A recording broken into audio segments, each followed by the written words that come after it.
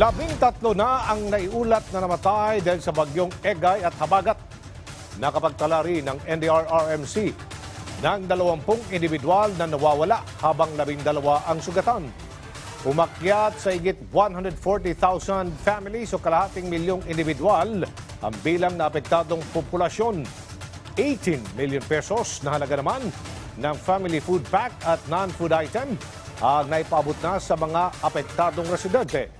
Sa initial assessment, nakapagtala na rin ang NDRRMC ng 656 milyong piso ng halaga ng pinsala sa infrastruktura habang 58 milyon pesos sa agrikultura.